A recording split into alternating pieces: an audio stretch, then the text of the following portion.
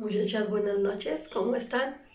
Nosotros bien, aquí vamos casi a prepararnos para salir a, a, un rosario, vamos a, a nos invitaron a un, a un pequeño convivio y vamos a acudir, este, pues vamos a, a lograr a salir en familia. ¿Qué creen muchachas? Que ya mi esposo me tapizó la chimenea, les voy a dejar unos pequeños videitos, espero que les guste, a mí sí me gustó mucho, ya nada más me falta pintarla y pues ya, para que se vea mucho más bonita y a ver qué decoración le vamos a poner por ahí encimita. Algo así bien sencillo, pero lo principal es que ya está, ya está ahí la, la chimenea terminada, ¿ok? Entonces paso a dejarles los videitos para ver si les gusta y se motivan a hacer su chimenea. Todavía hay tiempo, chicas, estamos a cuatro. Todavía hay tiempo para que la hagan para antes de, de Navidad, ¿ok? Miren chicas, fuimos a Home Depot y estuvimos comprando un, panel de tabla roca. El precio del panel fue de 199 pesos, fue de media. Y aquí mi esposo tomó medidas y se estuvo ayudando de un nivel para hacer los, los cortes de la medida que iban a estar los ladrillitos a un principio les había comentado que yo iba a tapizar mi chimenea de el papel tapiz 3D de Betterware, pero déjenme decirles chicas que me salía bastante carito. Ocupaba entre 5 y 6 papeles de, de tapiz, entonces pues ahorita como que no estamos para gastar tanto.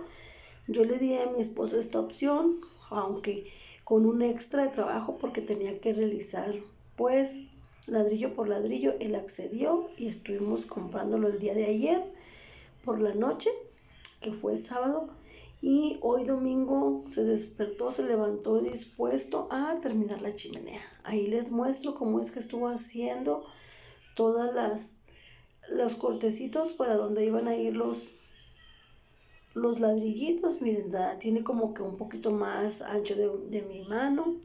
Creo que me dijo que eran 10 centímetros. Entonces ahí está él, ya con un montón de tiritas. No nos fuimos a acostar, chicas, hasta que no cortó la mitad del panel. Creo que fueron ochenta y tantas piezas las que estuvo realizando.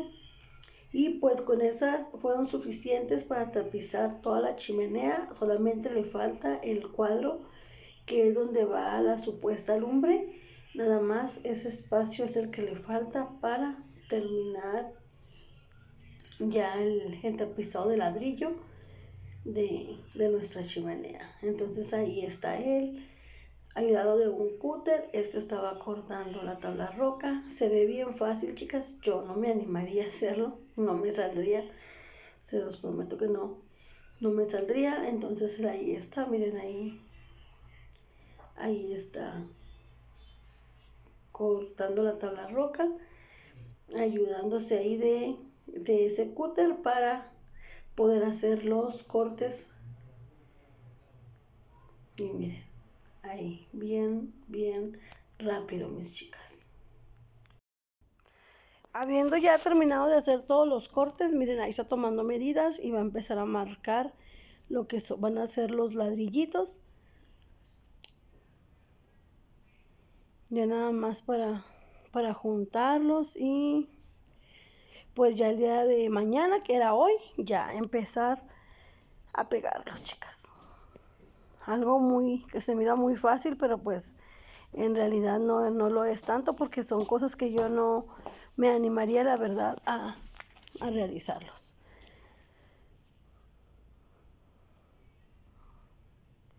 No tengo las medidas para, para decirles que con exactitud cuál era, pero lo que sí sé es que medían 10 centímetros de ancho y no sé cuánto de largo, mis chicas. Entonces, ahorita que él venga de recoger a la niña, yo le pregunto y con todo gusto les dejo la información ahí en la cajita de, información o, en, o se los pego aquí encima del video, ¿ok? Para que ustedes vean de cuánto fueron los cortes. Son las primeras que cortaba y pues ahí estaba. A mí me hubiera gustado, se lo dije que estuvieran un poquito más delgados, pero pues se los hizo así y pues se acepta. Aquí ya es otro día, es domingo por, por la mañana o mediodía, cuando él va a empezar, está haciendo pruebas de cómo es que los va a acomodar, va a tomar medidas de los cortes que van a entrar en la orilla y todo eso para ir haciéndolos. Estábamos viendo qué tipo de resistor iba a usar, si silicón o resistor normal y pues ahí vamos chicas. Vean ahí ya está toda una carrera, toda la parte de abajo. Ahí está, no teníamos espaciadores, no sabíamos con qué iba a tomar la medida de la boquilla, pero pues él igual se las ingeniaba con lo que encontrara y ahí estaba.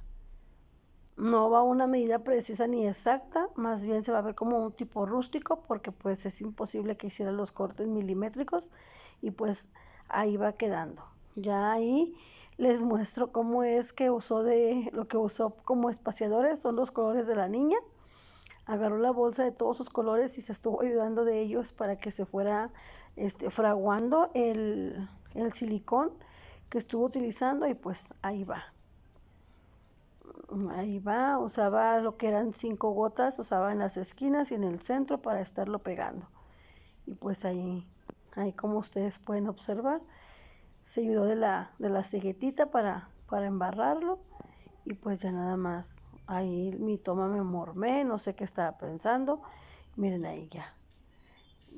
Puso el color y luego ya encima puso el pisito. No podía faltar su ayudante estrella. Lo que ve que el abuelo hace, él también todo quiere repetirlo. Y ahí estaba. Ahí estaba buscando cómo pegarlo.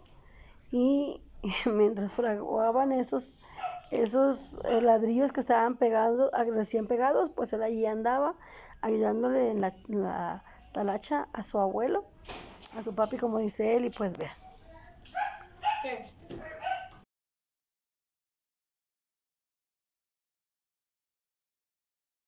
Pensó qué hacer y fue y agarró un color y según él estaba embarrando pegamento como su abuelo.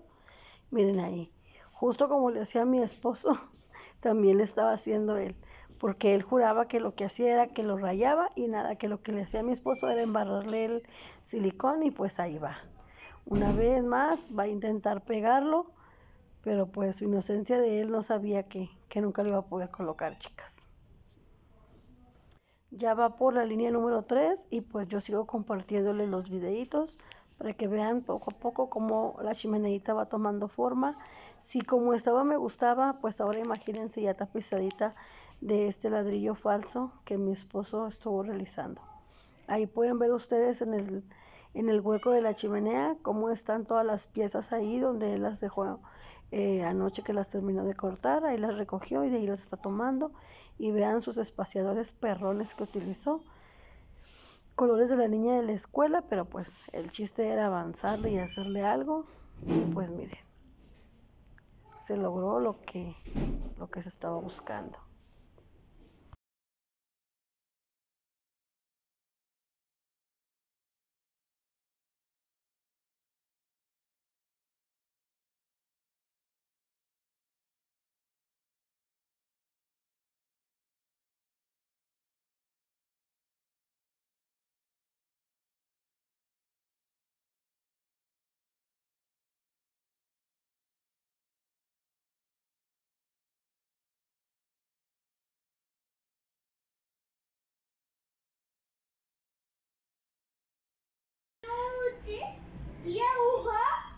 Naruto, una araña. Anda. Nunca la ves.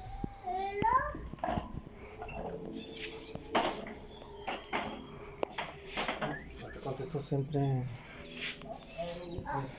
¿Quién?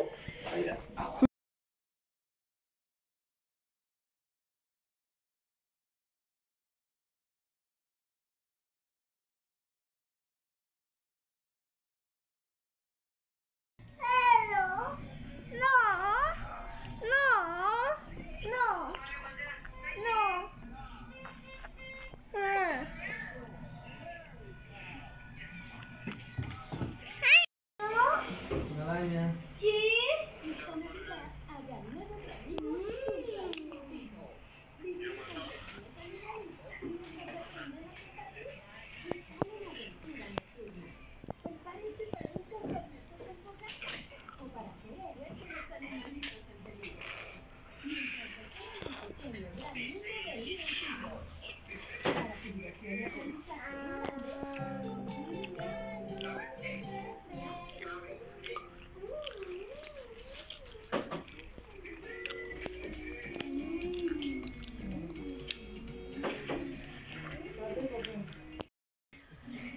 Es así como después de muchas horas ya mi esposo va terminando la chimenea, pero creo que se le terminó el resistor.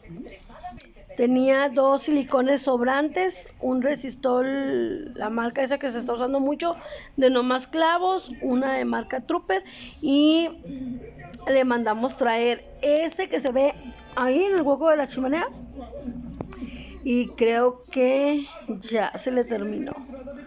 No sé si voy a completar para terminarla, pero pues si no, hay que ir a comprarle otro para que quede ya terminada esa chimenea y ya nada más me deje para pintarle los, los ladrillos hechos de tabla roca, chicas, para que ya mi chimeneita pueda quedar bonita, lista y después pasar una limpiada porque miren, miren qué tremendo mugrero hay. Está la casita con las patas para arriba.